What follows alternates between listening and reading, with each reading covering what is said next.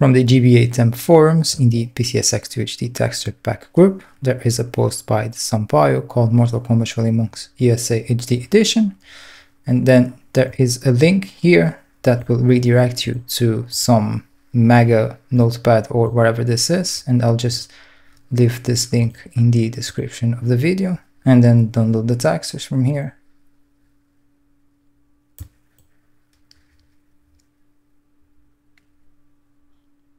Then after the download is complete, go to where you have downloaded the file and then extract it. If you're using 7-zip with Windows 11, you can hold shift and then right click, go to 7-zip and then extract here. Then copy or cut this folder, go to your documents, PCSX2, textures and place the folder in here. But I'm using a portable version of PCSX2, so my textures folder is in the same place or in the same folder as my pcsx2.exe. So I'm going to paste the folder or the textures folder in here.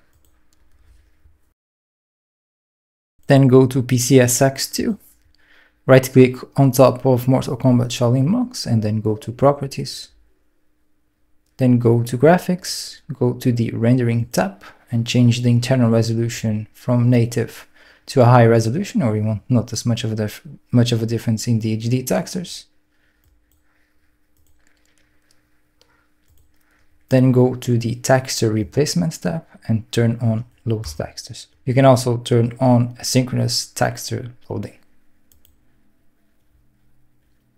Now run the game and the HD textures should be working correctly.